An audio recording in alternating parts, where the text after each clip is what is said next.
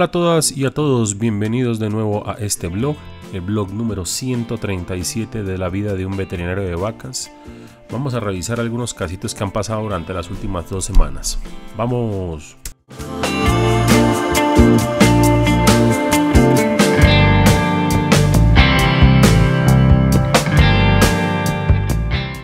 Bueno, comenzando con este primer caso que es algo realmente muy común, popular y típico, pero que nunca habíamos hablado en este blog.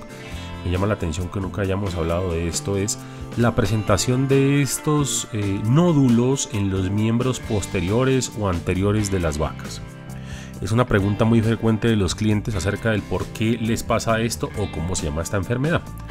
Y como muchos de ustedes ya lo deben saber, pues no es algo de gravedad, no es algo de lo cual que hay que preocuparse, pero definitivamente es algo el cual uno no debe molestar.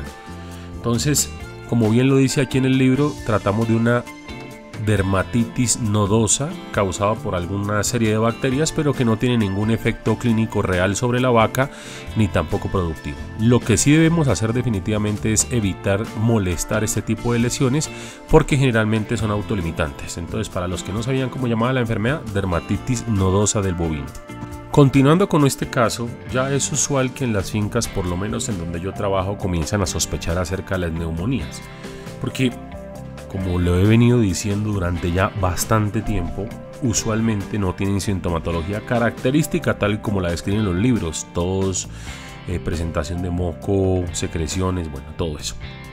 Cuando nosotros procedemos a hacer la ecografía ya ante la sospecha de neumonía y como ustedes ya lo saben según el Bovirus, la neumonía es la enfermedad más prevalente por lo menos en la región donde yo vivo, pues lo primero que se examina es el pulmón sobre todo para descartar la neumonía. Y como ustedes lo están viendo ya desde el principio de este video pues estamos eh, confirmando que esta ternera sí tiene una consolidación pulmonar de los dos pulmones bastante eficiente lo que nos eh, obliga eh, insistentemente hacer un tratamiento antibiótico como normalmente ya se había instaurado pues lo que uno hace es cambiar de grupo de antibiótico utilizado para tratar de atacar las bacterias porque quizás las bacterias que están atacando con el primero no estaban siendo derrotadas.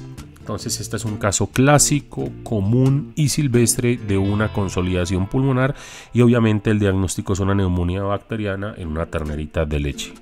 Vamos entonces con el segundo caso. Se me presenta esta ternera o esta novilla, aproximadamente un año, un año pasado de edad, con esta lesión cercana al esternón. No hay una historia aparente acerca de la posible causa por la cual este animal se lesionó, pero normalmente lo que sucede es que como me digo son locas, saltan y se clavan algo ahí directamente en el pecho. Entonces miren ese tipo de lesión, ellos me dicen que ya mucho tiempo tratándola, a mí no me habían contado antes, pero digamos que ahí no se ve como mucho líquido de limpieza, ¿cierto? Seguramente debido a la no efecto positivo eh, sobre, esta, sobre la curación de la enfermedad básicamente o de la lesión, pues la gente pierde un poquitico el ánimo de ir a hacer la, la cura. Ahora, cuando a mí me cuentan la historia que lleva mucho tiempo el animal afectado, pues a mí ya me entra un poco de duda acerca de qué pueda estar pasando. Y normalmente cuando hay, porque estamos sospechando, volvemos a insistir, que la vaca, la novilla en este caso, saltó y se clavó algo, nosotros sospechamos, por lo menos yo sospechaba en un principio, uno puede llegar a sospechar que todavía está el cuerpo extraño adentro, sobre todo es madera, normalmente. De todas formas, también vamos a sospechar que haya una fractura de eh, una fractura ósea allí adentro que haya generado pues pedacitos de hueso que se hayan necrosado y finalmente infectado.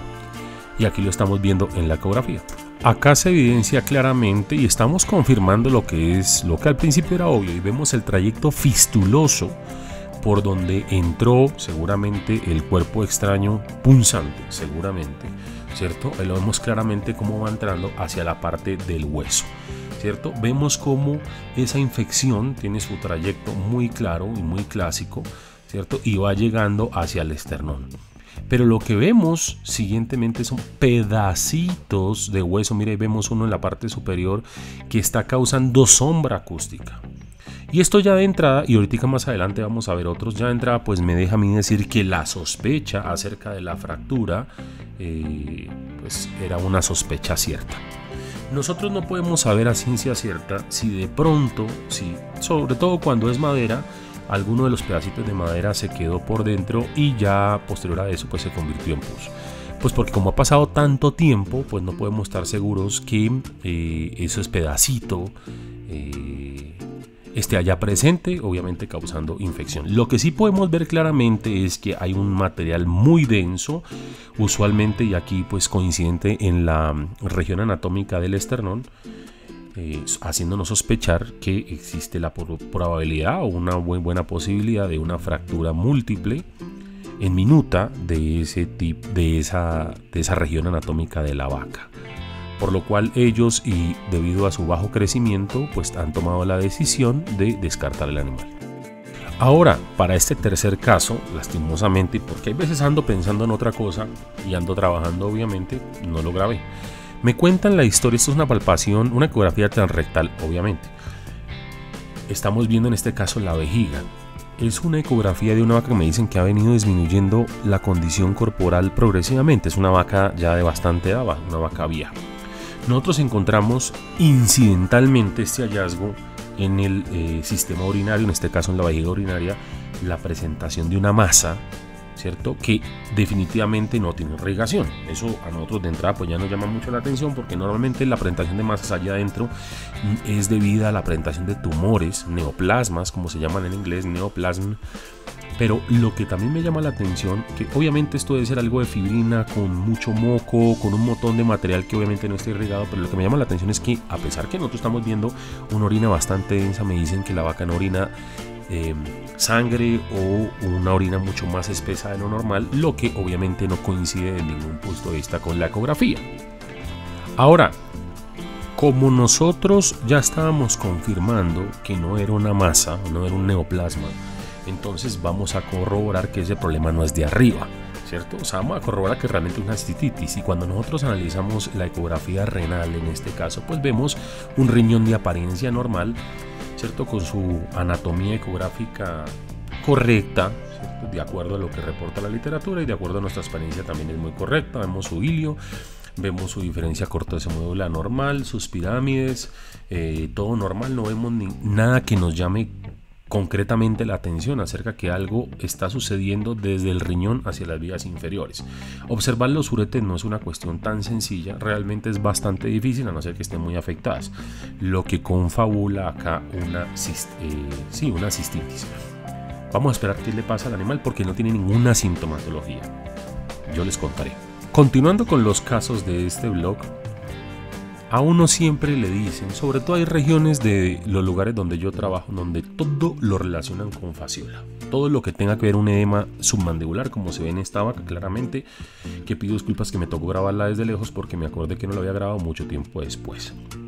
¿Nosotros qué hacemos ante una sospecha de estas? Obviamente, y como usted ya lo saben y con la herramienta que tenemos, hacer una ecografía. En este caso con un transductor convexo para poder observar la parte más profunda del hígado. Como ustedes pueden observar aquí claramente, lo que es muy claro es que la vena caudal está de forma redondeada, la cual debería ser siempre de forma triangular.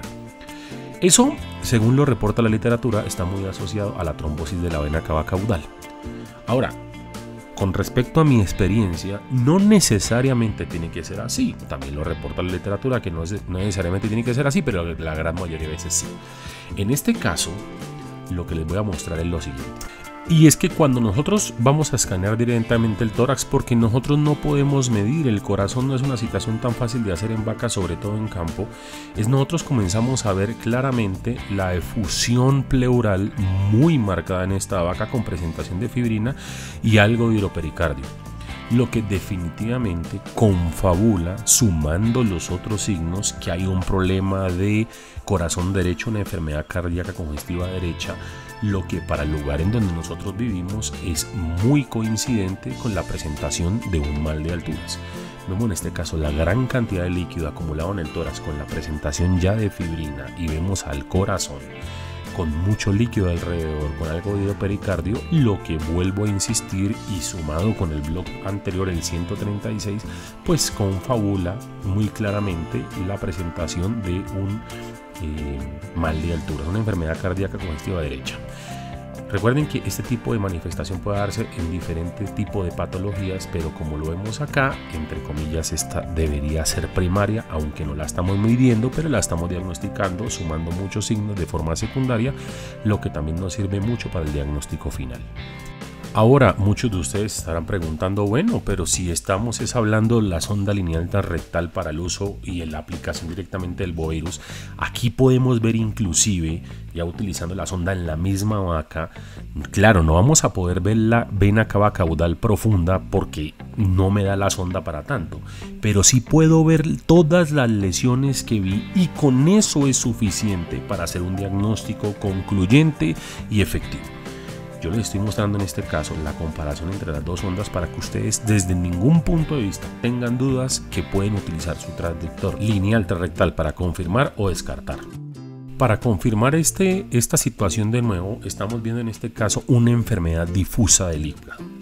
La enfermedad difusa del hígado, por lo menos en el lugar en donde yo vivo, está muy relacionada o fuertemente relacionada con las intoxicaciones de tipo alimentario en el lugar donde yo vivo cuando van y comen alguna planta o alguna situación sucede, ¿cierto? De tipo alimentario. Como lo que primero sufre es el hígado debido a toda su circulación portal, nosotros vemos ahí inclusive hasta la sangre, la vena porta bastante aumentada de cogenicia, aunque eso no le dice uno mucho, lo que sí podemos es entre los dos tipos de ecografía, entre el uso de los dos diferentes tipos de transductores comprobar que con el ecógrafo lineal rectal es perfectamente posible hacer exactamente el mismo diagnóstico que hacemos con el convexo. Lo que no podemos es evaluar la extensión. Pero al final de cuentas, cuando yo veo la lesión, lo importante es detectarla, más que la extensión. Otra comprobación que el bovirus es eh, muy útil. Bueno, y para terminar les quiero mostrar este último caso. Esta vaca para el 27 de junio del 2024. Observen la línea roja solamente, que es la actividad de rumia. Miren cómo ha venido disminuyendo con el tiempo.